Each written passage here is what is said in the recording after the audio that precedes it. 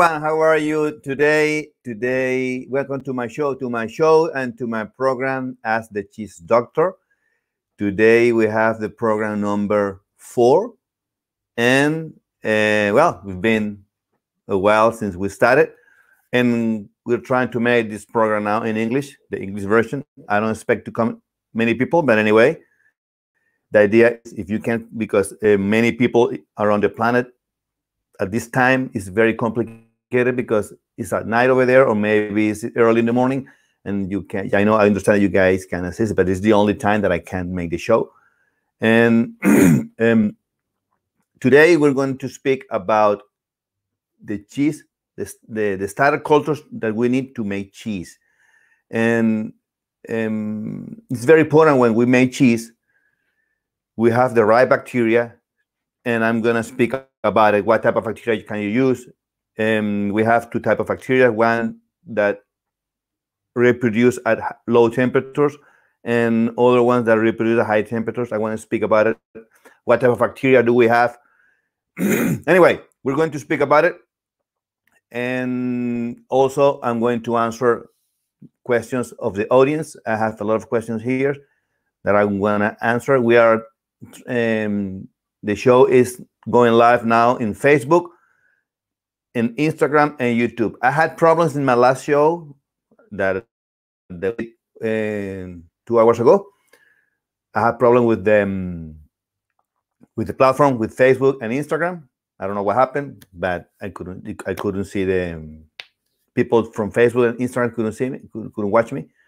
And okay, let's start if you guys have any comments, if you want to comment, you're more than welcome. You're gonna if you want to ask questions, you're more than welcome. This this the idea is that you you guys can answer all your questions here, and this place I want I want it to be like um, fountain of knowledge for everyone that wants to make cheese. This is free to attend, and I'm very happy that you guys are here in my, in my show. Okay, so let's start about the um, cheese starters, um, the starter cultures to make cheese. And I'm gonna share the screen with you and make the put it on put on the presentation. okay. It's a PowerPoint presentation. I hope you like it. Uh, I don't have it here. Let me find it. I know it's here. Yeah, it is. Okie dokie. Let me start here. Okay.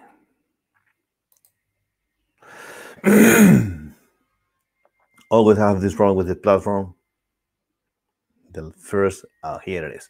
Okay, today is our program number four, and today we're going to speak about starter cultures for uh, that we need to use how to make cheese. Okay, I've been speaking in all in older programs that about the milk.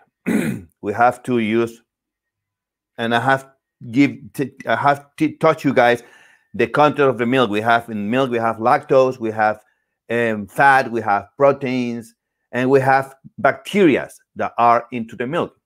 However, these bacteria sometimes are good bacteria and bad bacteria. The good bacteria is the one that we use to make cheese. These are called lactic acid bacteria because they get feed from they get their food from the lactose, which is the sugar on the milk, and they produce an acid called lactic acid. This, this acid lower the pH, make the cheese or make the milk more acid, more acidic. Therefore, it will make the cheese more acidic. However, when we, um, as I said, we have good bacteria and bad bacteria, and we have to kill the good bacteria, the, the bad bacteria. So, what we use to kill the bacteria, we, we use a process called pasteurization. Pasteurization kills the bacteria, but also kill the, the, the pathogens bacteria. They call it pathogens. However, pasteurization also kills the good bacteria. So it kills everything, the good bacteria and the bad bacteria. And we have to put this bacteria back again into the milk. So this type of bacteria, we call it in this in the cheese making environment, we call it starter cultures. Okay. And what they do, These are life organisms that are we bought in the um, places where where uh, where you guys buy stuff to make cheese. I have it on my website, drquesero.com or cheesedoctor.com. You can find it there. But anyway, this as this bacteria, they come in a powder form, okay, and they are dormant because they are kept in a freezer. They have to keep it. We have to keep it in a very low, at very low temperature. We're talking about minus four, minus six, even minus more more than that. Um, so the idea is to keep it really um, in a very cold environment. And these bacteria, as I said, they are sleeping in their package. What do they do?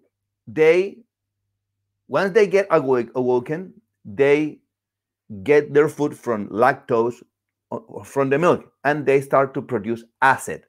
But they also produce gas and produce flavor. Depending on the type of bacteria, some of them produce as uh, produce gas, some of them produce acid, some of them produce flavor, and some of them produce all of them. So it's the ability of the cheesemaker how to combine them.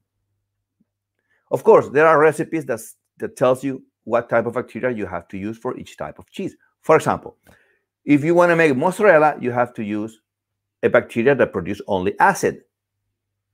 If you want to make cheddar, you have to use a bacteria that produce acid and produce also um, flavor. So that's the ability of the cheesemaker. If you're going to if you're going to make camembert cheese, you have to produce you have to use a bacteria that produces a little bit of gas, uh, sorry, a little bit of flavor, and you also have to combine not only bacteria, you have to combine with fungus or molds that they will cover the cheese eventually. So this is the ability of the bacteria.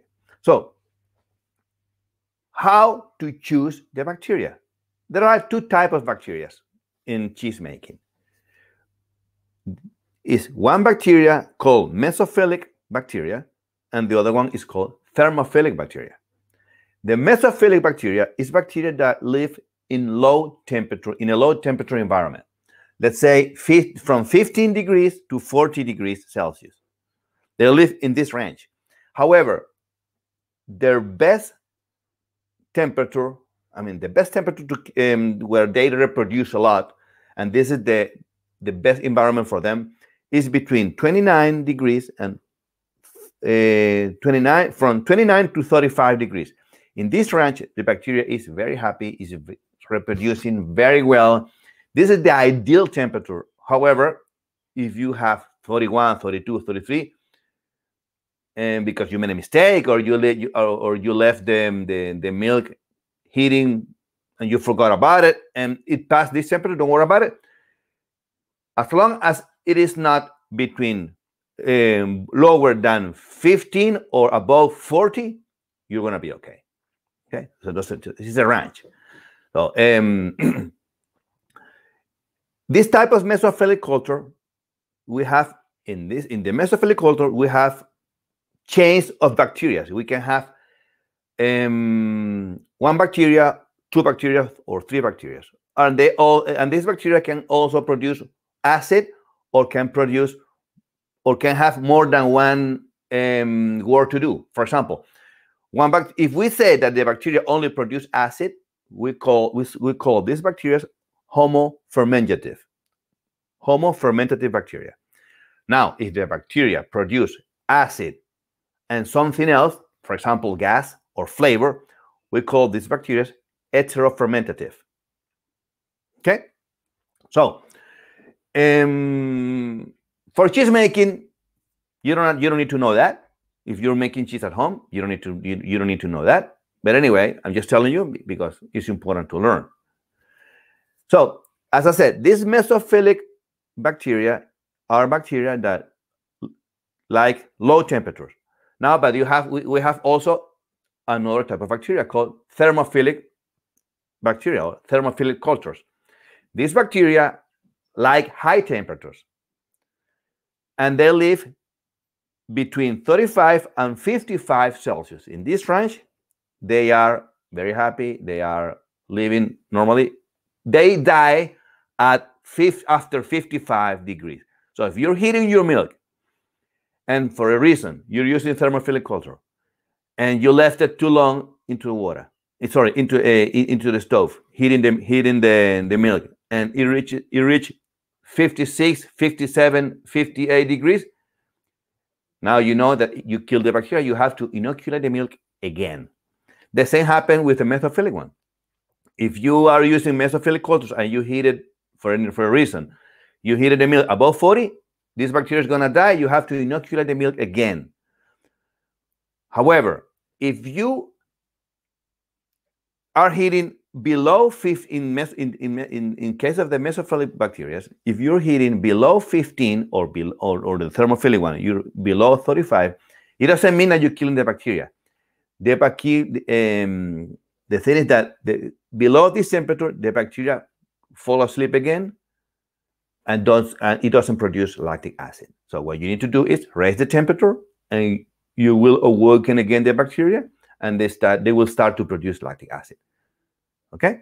So, and this is more or less what you need to know when you are making cheese. Now, how do we name, what does it name? Um, the bacteria has a name, a, a way to name it, depending on the family of the bacteria, the species of the bacteria, and the subspecies, and also the strain. For example, if we have a bacteria, when we name, when, when we name a bacteria, we always have to put first the family. Secondly, we have to put the species. Thirdly, the subspecies, and so on. So when we name a bacteria, there is, for example, we have this type of families, which is Lactococcus, is a bacteria that produce acid. We have also Streptococcus, they also produce acid. Lactobacillus also produce acid. We have Leuconostoc, they produce flavor and texture. And the last one, which is not a lactic bacteria, is um, is a bacteria, but it's not lactic. Okay, they produce flavor and they produce gas as well. When we, when I put texture here, it's because they produce gas. They change the texture of the cheese.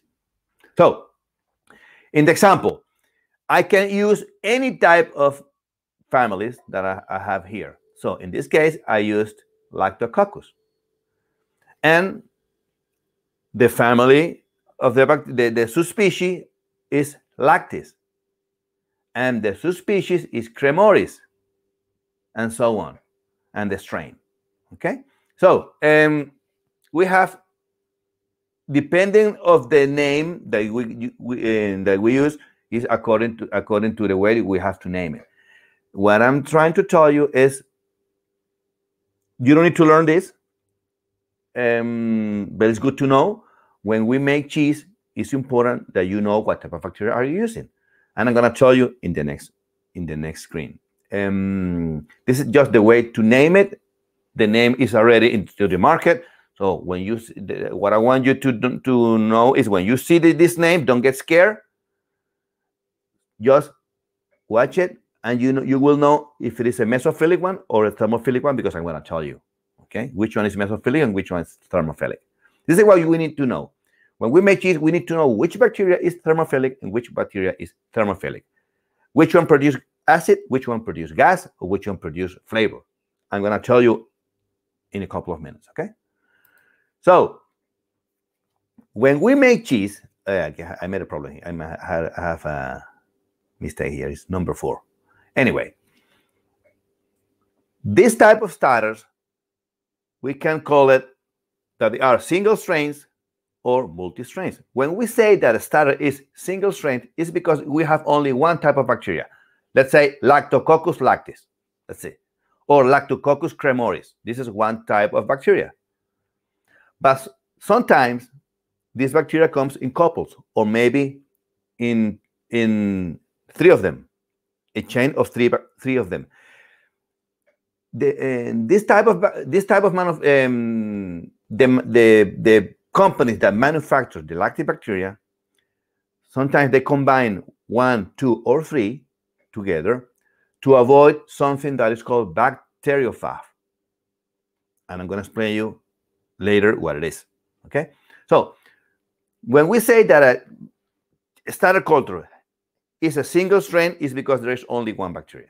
If we say if we if, if we when we read when we read the instruction of the of the package that this is a multiple strain starter culture is because you have more than one bacteria which is good this is normally this is what we what we buy um, chains or two or more bacteria to avoid bacteriophage okay so put this in mind okay um, I'm to tell you the name of the bacteria, the, the most common names of the bacteria that we use in cheese making, so you know which one is which. So we have Lactococcus. This is the most the most common one, the, the first two, and these two are called mesophilic starter cultures, both of them. When, when normally when we speak about hey, I'm going to buy a, a mesophilic culture, we're talking about these two these two type of bacteria. Their name is Lactococcus lactic. Lactococcus is the family. Lactic is the, um, the species, and the subspecies is lactis. It's Lactococcus lactis lactis. Okay? It's a mesophilic bacteria, and the optimal temperature that they that they have that, that, um, is between 29 and 35 degrees. I told you it was it was between 15 and 40. They live in this range, but the best temperature to reproduce is between 29 and 35. So from now on, I'm going to tell you the best temperature that they, this bacteria that this bacteria need to reproduce accordingly. So this Lactococcus lactis sublactis, the, their main function is to produce acid. So if you want to have, if you want to make, for example, yogurt, you can use this bacteria because it's only produce acid. And yogurt is only acid. You acidify the milk, and this acid production will coagulate the, the milk and will produce and will make the, the yogurt. But you can make also cheese with this with this type of uh, of, of bacteria. Now, um, if you're gonna use if you want to use another type of like uh, another type of starter culture, for example, for yogurt would be the um, the um, Lactococcus acidophilus. You can use either one of them. Now you have to answer, you have to manage price. If one is cheaper than the other one, is the cheapest, use the cheapest one. But if you want to make cheese, you have to use um, Lactococcus acid, Lactococcus lactis if you are using, if you want, if you're looking for acid production. Another one that you use together as well is Lactococcus lacticremoris. They are also mesophilic. The range is between 29 and 32. So if you, as a cheesemaker, for example, you want um, you when you buy the, the, the mesophilic culture and they come in strains and they come with these two type of, of bacteria from and they come with Lactis and cremoris. The, uh, the strain has both. You have to heat your milk in the common range of these two bacteria. Let's say 30, 30 degrees or 31 degrees or 32 degrees because 32 is here but it's also here so you will have both bacteria producing acid but if you want um, let's say um, if you want um, to reduce the acid production maybe you can heat at 34 degrees which means that this bacteria will produce acid, but this bacteria, because the, the, the range is between 29 and 32, maybe the acid production of this bacteria is not going to be so high because it's not in the in the um, between this range. So you can play with this, okay? And this is the ability of you of, of, uh, as a cheesemaker. Okay, remember that cheesemaking is science, but it's also art. And the way we combine the science is when we make art.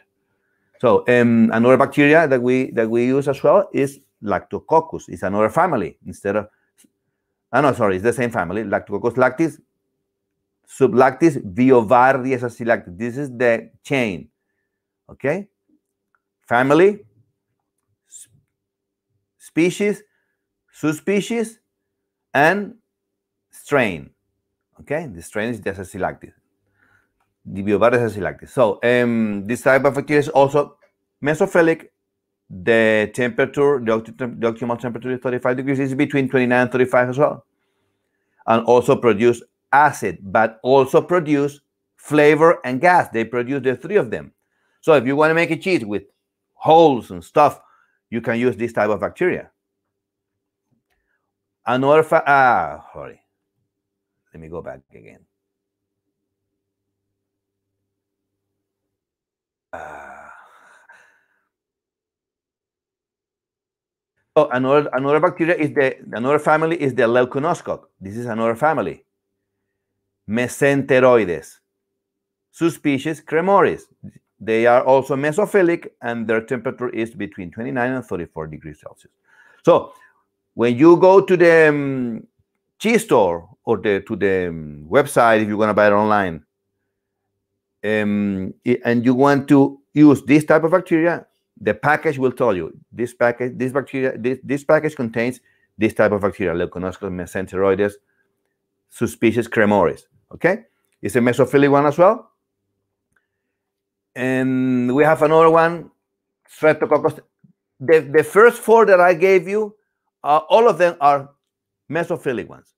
So they like, as I said, low temperatures. But now we have the thermophilic ones, which is the next four that I'm telling you.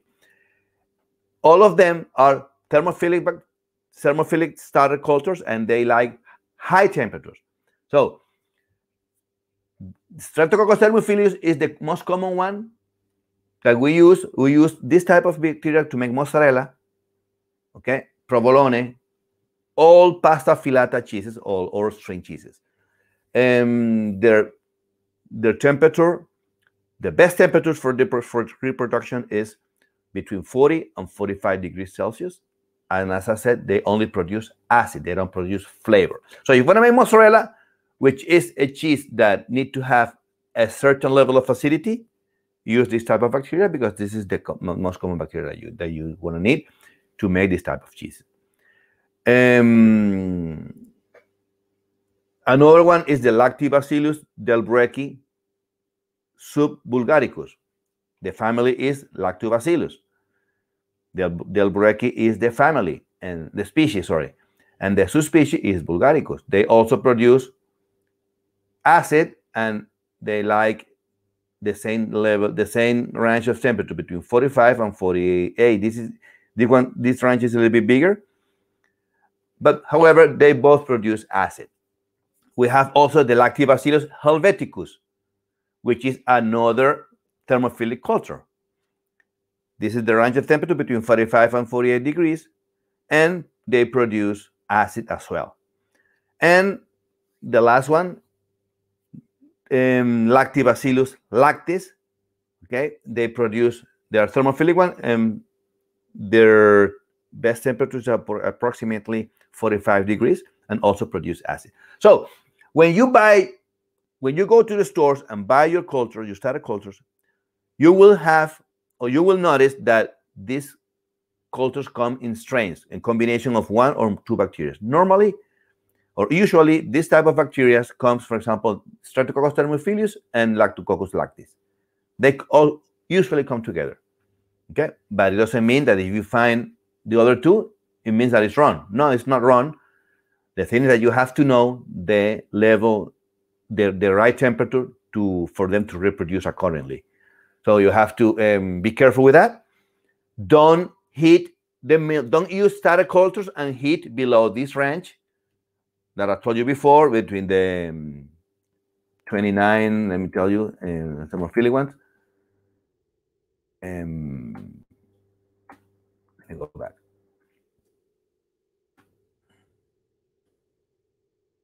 Here.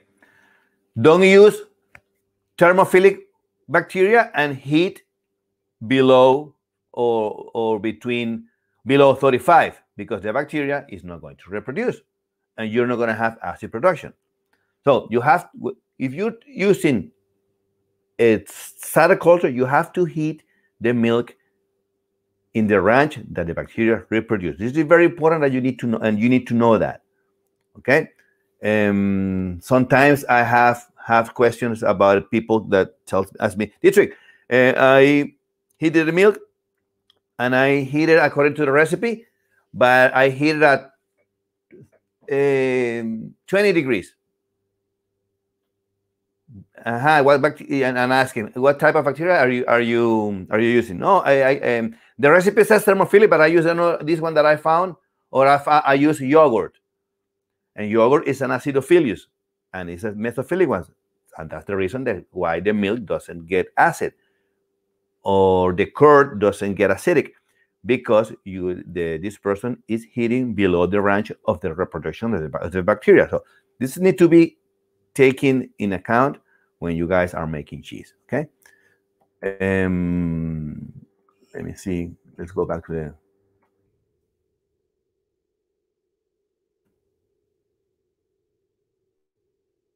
Okay.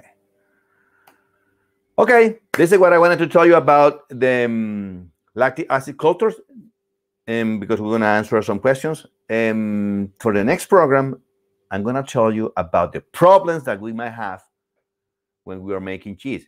One of them, the milk doesn't get acidic. Why?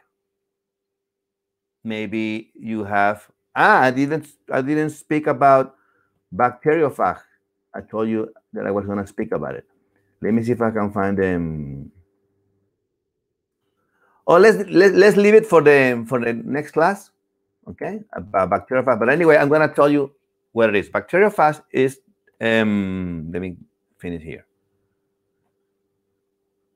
Let me stop sharing the screen.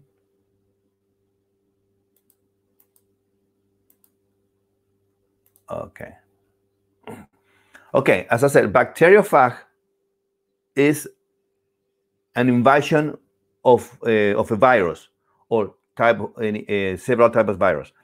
They invade the milk.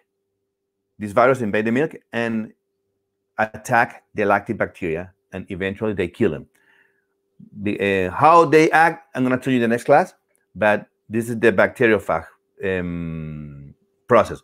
The bacteria, the, this virus kills the lactic, uh, kills the lactic bacteria or the starter culture, they kill them, and therefore the bacteria doesn't produce acid. And you're going to notice in your milk that after one hour, two hours, the pH doesn't doesn't lower or doesn't get low, and you you will notice something is happening maybe you might be you might be a victim of starter of a bacteriophage. Okay, so um, but I'm gonna explain you that in the next class. Okay, now let's answer some questions. Um, let me see if I can find. I have here a question. Let me get rid of this first. Okay. I have Melanie. Melanie tells telling me can you brine cheese that has been aged for a month? My cheese is 30 days and it's a bit bland. It's a bit bland, which I believe is because I didn't put enough salt. Can I pop in for an hour into a brine and see it will help? Or it is too late? No, Melanie, you can you can use brine I mean, remember when we when um, when we put cheese in brine, there is a phenomenon called osmosis. Osmosis is the um, the pass of a liquid from a lower concentration, sorry, sorry, so a higher concentration to a lower concentration. Okay, uh, let me see uh, or vice versa. Okay, so because your cheese has a lower concentration, okay, if you put it in brine, the high content of salt will be tend to be absorbed by the cheese. Now, you're saying that only one hour. It will depend of the size of the cheese that you that you have into the brine. But for sure, and definitely of you, you do can put your cheese into brine depending of the block of the cheese leave it for a while and the cheese will get the salt from the brine. Okay, so don't worry about it. You can do that. Now, how long do you can you put the cheese into the brine?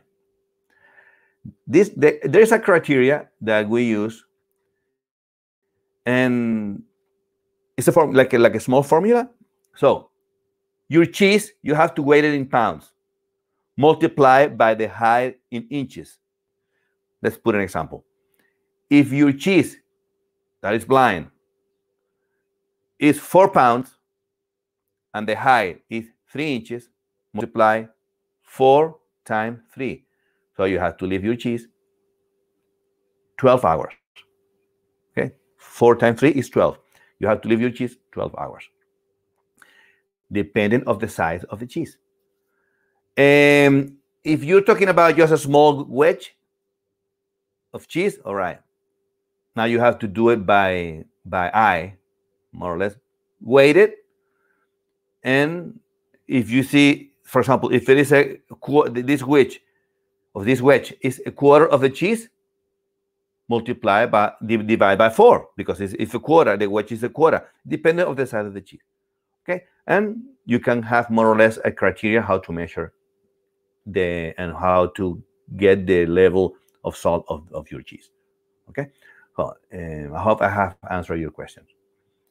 Let's go to the second questions. Uh, hi, I'm looking to make a simple blue cheese, but the only mold that I have are Square Feta molds.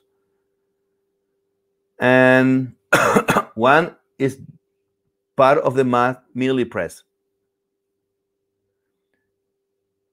None that I have open-ended. Would it be okay? Look, uh, whose name? Ah, I don't know the name. Anyway, the mold is just to give the the form of the of the container that contain is contained in the core. You can use square molds. You can use round molds. Doesn't matter. I have I have seen cheeses with uh, the, with the form of the heart, so it doesn't matter. You can use feta mold. That is very important. If you're gonna make blue cheese, you have to follow the follow the, the recipe to make the feta the um, the blue cheese, which is put into the mold, turn it over. I mean, follow the recipe, and then you have to because inoculate the milk with the bacteria or with the fungus, and after that you have to um, you have to pierce the cheese eventually after one or two weeks. You have to follow the recipe. Um, Manal, hi Manal, how are you? Nice meeting you. Nice having you here in my show. I know that over there is very very late, but anyway, this is what I can do. I'm gonna I'm I'm, I'm starting. Um, if you want to, we can live together to see what is the best time for you to attend, and so you, um, we can have people from your country as well, more people. Um, okay, um, let's go with another question.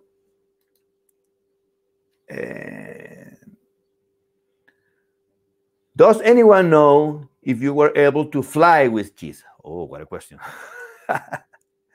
I'm heading to a buddy's house in a couple of weeks in the States, and we have a type of cheese that he can't get where he lives. I was going to bring him five pounds of block to him. Well, look, um, it will depend of the type of cheese that you are delivering or transporting. Forget about fresh cheeses. You can bring to America fresh cheeses because it's forbidden. Unless you have all the permits and all your documentation, which I believe you don't. So,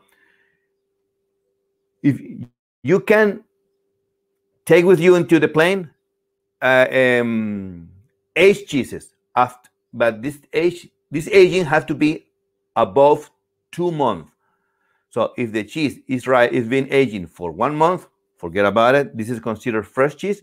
You can take it to america. But if you have for example pecorino or you have um, any cheese that has been aging for more than two months you can transport you can take it to america with you. Into the plane you won't have any problem. Try to vacuum pack it first. Vacuum pack it. Um, if if you bought it, if you bought it and it's not vacuum packed, please vacuum pack it. Vacuum pack it and put into the into your luggage. You're not you're not gonna have any problem. Okay. So um yeah. Let's see. Manal have a question. Some beginners, let me see. Some beginners Some beginners cheese say all kind cheese have the same taste. Is it right? And how can I avoid that? I'm fine. How are you? Let me see if I could if I understood your question. Some beginners, some beginners cheese makers, I would say. All kind cheese have the same taste. Is it right? No. No. How can I avoid? Can you make the question in a different way that I can that I can understand. I'm understanding, Manel, that all the cheeses are have the same taste. Some beginners cheese say all kind cheese have the same taste. Is it right? How can I avoid that? Look, anyway, what I can understand from your question is not all the cheeses have the same the same flavor. They don't they don't the same taste. They don't have the same flavor. They have different flavor depending of the bacteria that they using. What happening what's happening is when you when you make cheese, if you make cheese with raw milk, this bacteria, this the, the bacteria that is in the raw milk, especially if you, as I said, you use raw milk, all the bacteria is into the milk Therefore, this bacteria will produce a lot of enzymes and also the bacteria, also the, the, the milk have jest. We call it um, native yeast. They, they are into the milk. This bacteria will, and this jest will produce, especially the bacteria, they will produce enzymes. These enzymes will change the texture and also will change the flavor of the cheese. Okay, so um, if you don't put the bacteria, or if you pasteurize the milk but you don't put the bacteria, this bacteria eventually, because you don't have any bacteria into the milk, they will not produce these enzymes. Therefore, your cheese is going to be very bland, very mild. It's not going to have any flavor. For example, when we when we make paneer paneer is a cheese that doesn't have any bacteria on it because you use pasteurized milk acidified with lemon or with vinegar and you don't have any reproduction of the, any of the bacteria therefore your cheese is not going to have much flavor but if you make for example feta feta cheese and you when you make feta you have to inoculate the milk with starter cultures so you, your bacteria will produce acid, but also enzymes. And this bacteria will lower the pH at 4.6, which is the pH to make feta. During this process, the bacteria produce also enzymes. When you make the feta, your feta is going to have a lot of flavor because this enzyme help you to improve the flavor of the feta cheese. So, um, how to avoid it? No, um, you, you can you if you use lactic cultures or starter cultures, you're gonna have flavor. If you don't use them, you don't you, you're not gonna have any flavor on your cheese. Your cheese is gonna be very bland, very plain. Okay, I hope I have I have answered your question. Alex, hi Alex, how are you? Nice coming, nice to see you, nice to have you here in my in my, in my show. Okay, um, if you can if you guys can tell me your country, where you're coming from, I'm very happy to to know. Okay, uh, let me go with another question. Um,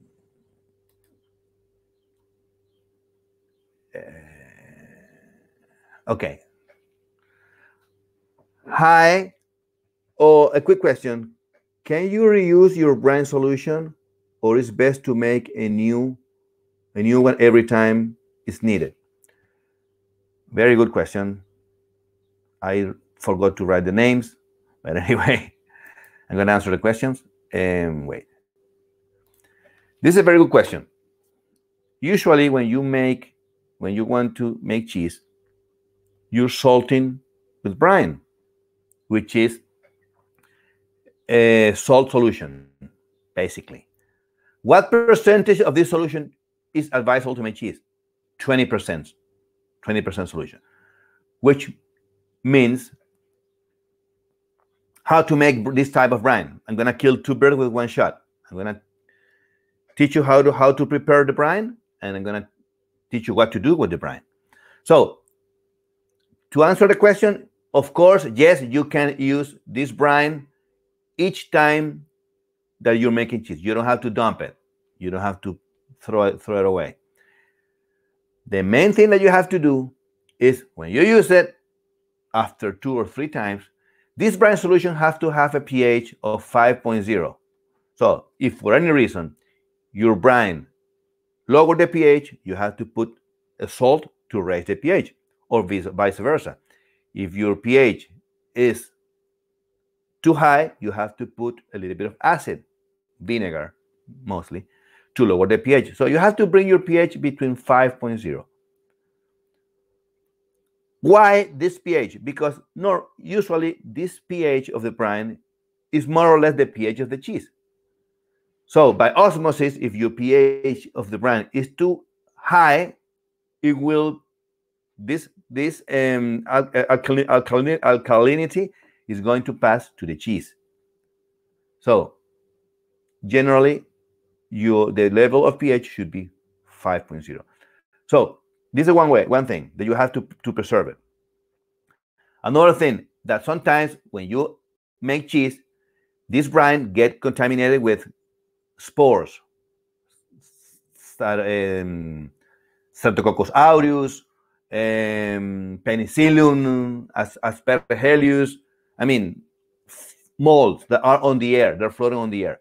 So once in a while, maybe if you're using the, the brine every day, maybe once in a while, I would say once a week, boil, you have to boil the brine. When you boil the brine, you're going to kill all the bacteria and filter it.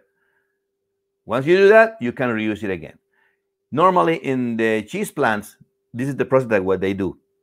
They monitor the pH and also they boil or heat the, the brine after several uses, uses uh, after several times. I don't know. Um, it depending of the of the um, of the criteria of the cheesemaker. I would say once a week is right. Um, I use brine a lot, a lot, so I um, boil it and keep it at the right at the right temperature. However, sometimes I use so much, um, a very small amount. I just dump it, make a new one. Doesn't matter. It depends of the, of the type of cheese and the amount of brine that you use. If you're using a lot of brine, for example, I would say 300 liters of brine because you're putting inside maybe 50, 60 small cheeses, camembert, for example, you can um, heat the brine or pasteurize it as well um, to preserve it and use it and use it and use it many times. Of course, you also um, have to check the level of salt because some um, and you have to measure the concentration, maybe some tests, I don't know, but you can reuse it many times. Okay.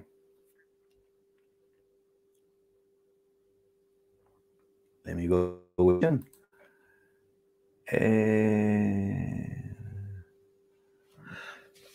well, hi, I have this question. What um do you, what is the survivable temperature range of Penicillium candidum? In example, roughly, what is the highest temperature it can tolerate before dying? Penicillium candidum. Okay, as you say, Penicillium candidum is a mold that we use to make camembert cheese. Okay, this is we call it white mold. I would say,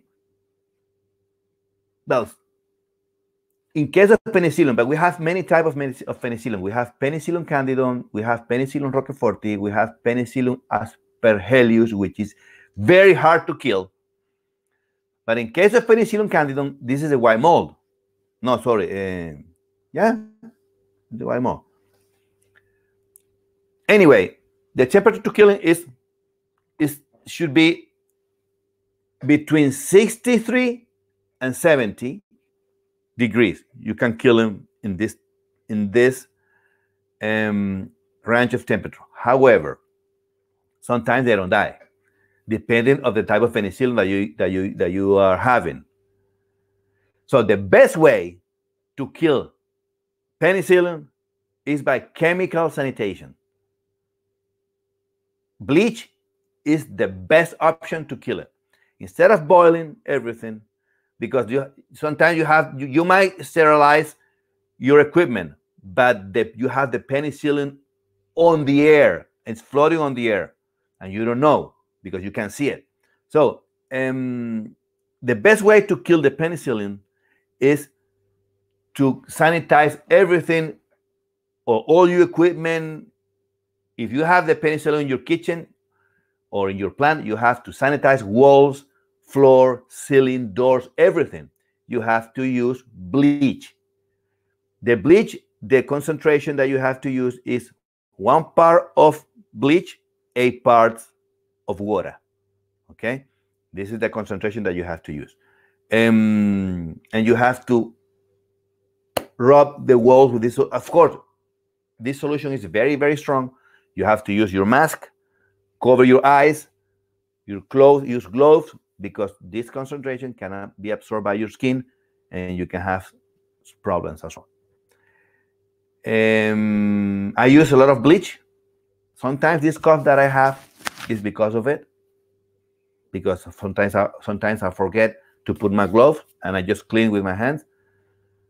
But it's very it's important that you use this type of, of gear, protect, protect, protective gear, because you might have um, collateral problems when you are sanitizing with this type of of um, chemicals.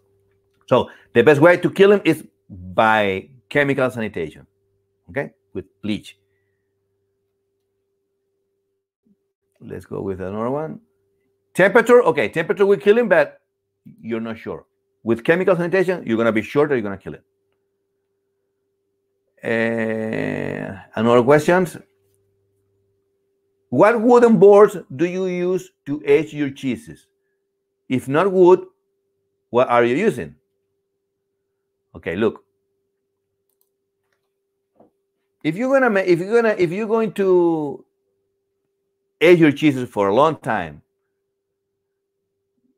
they uh, in in the small artisan plants they use timber. That's correct. But the, the bad thing with timber is that you have you have a lot of maintenance procedures because the timber, I mean the all the, the box, uh, acaros, they come into the fiber of the team of the timber, and they're gonna put their eggs over there also into the cheeses.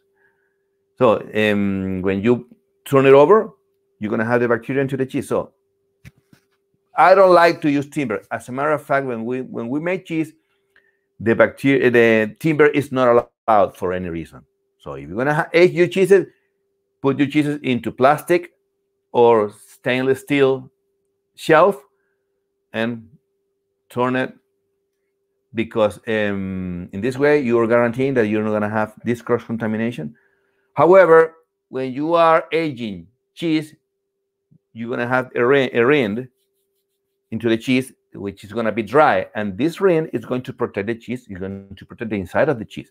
So, in this case, if you are aging and you and the surface of your cheese is dry, you're not going to have problems you can use timber shelf but it depends on the type of cheese that you're gonna that you're gonna that you're going to ripen if you're making for example mozzarella and the mozzarella doesn't stretch because you haven't reached the high level the the, the, the right level of of humidity because when we acidify mozzarella sometimes it's not always sometimes it get hydrophobic and this and you have to put it into the um, fridge or you have to let it ripen for three or four days or for a week to let it to hydrate so the proteolysis will allow the cheese to stretch eventually.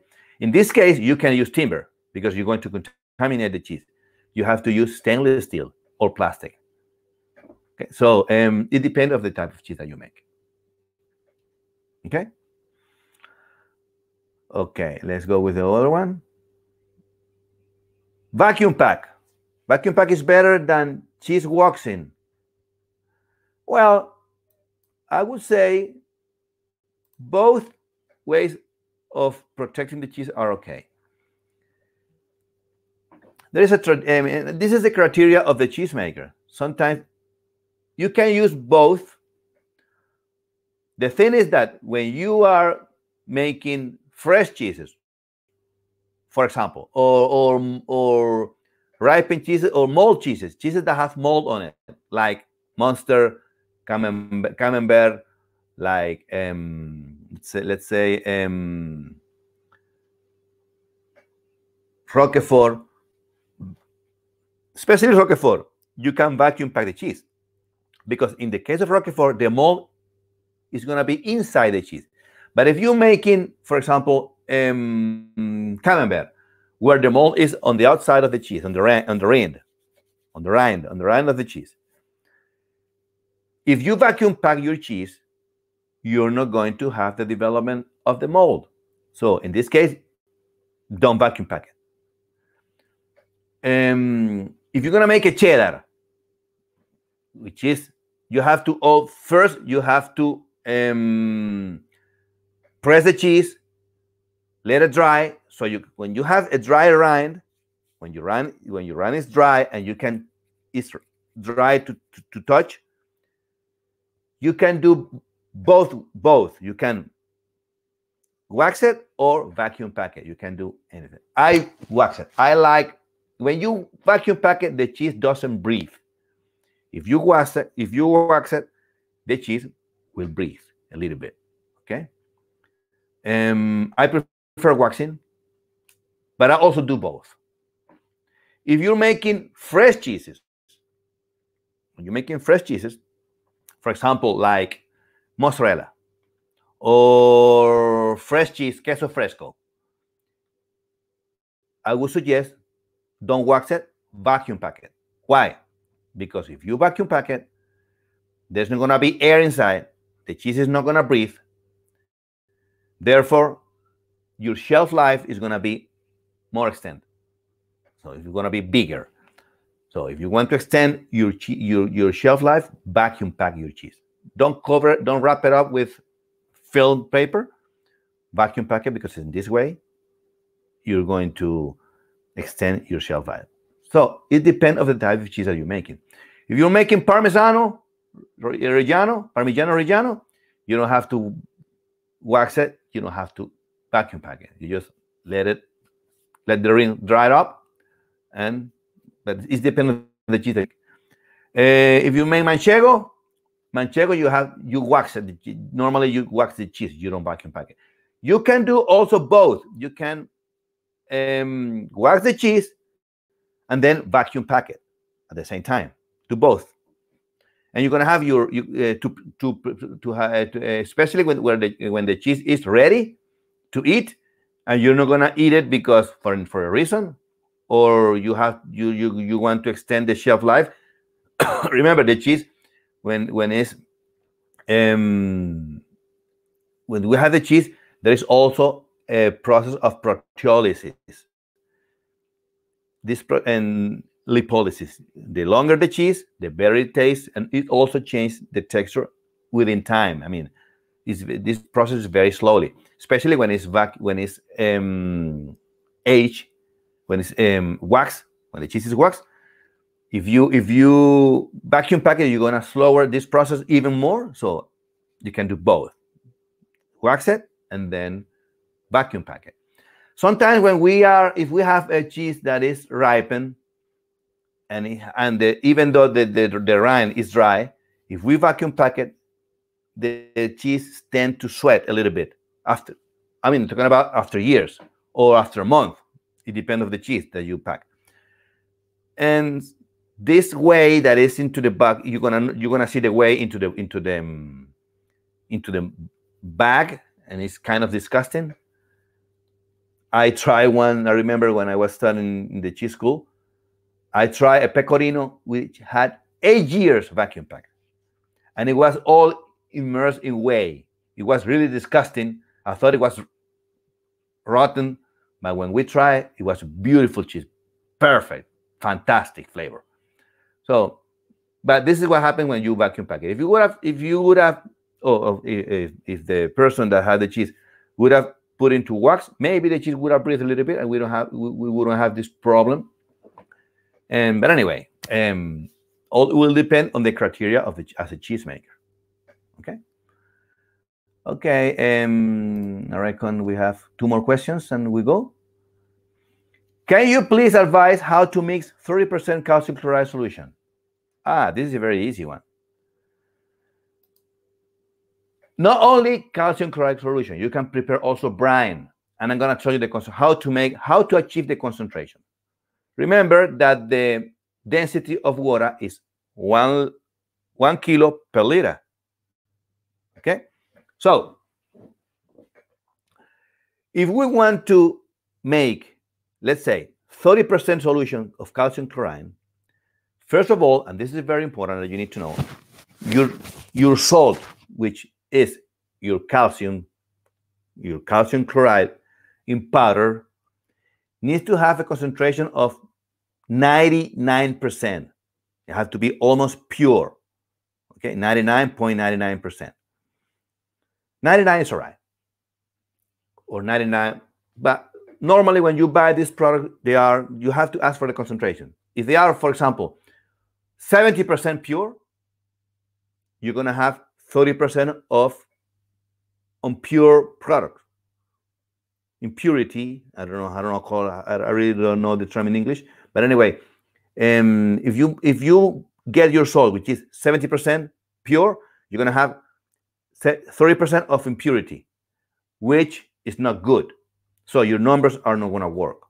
And this 30% of impurity might be dangerous for your for your for your solution.